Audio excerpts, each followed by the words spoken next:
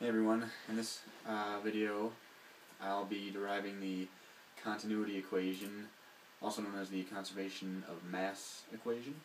Um, I'm going to be using one of the four flow models that I described in my flow models video that you can check out.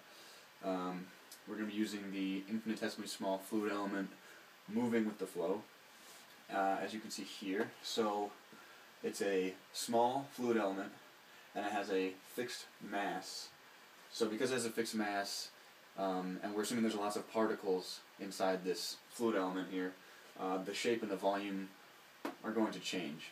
So I denote the the mass by this dm, the density is rho, and the volume is dv.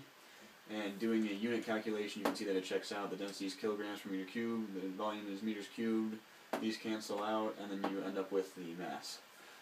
So, um, so what's happening is that the the time uh, rate of change of the mass of the particle as it's flowing along in the fluid is not changing. Um, so the time rate of change is zero. So from my other video where I go through the substantial derivative or the total derivative, that's the definition of the total derivative.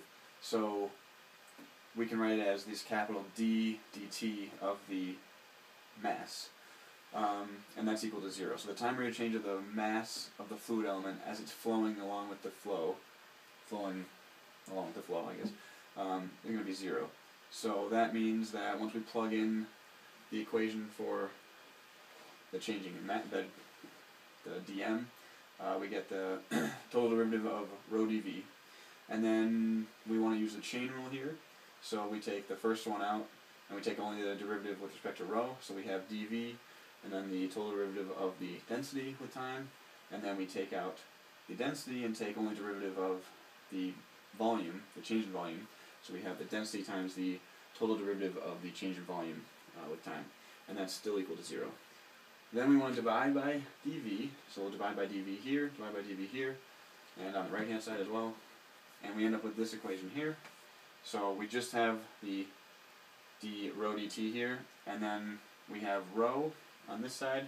I divide it through by the volume, and we have this 1 over dv times the total derivative, total derivative of the velocity, or not the velocity, of the volume with time, and that's equal to 0. This, I haven't gone over a video of this yet, but I might derive this, but the this is the definition of the uh, divergence of the velocity.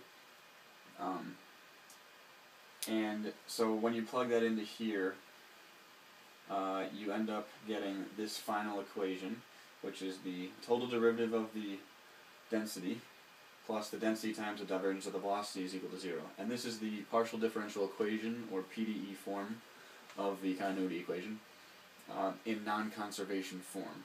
So I'm also going to go over the derivations of the continuity equation in the three other flow models that I talked about and we'll see how you can get the conservation form by using the infinitesimally small fluid element fixed in space.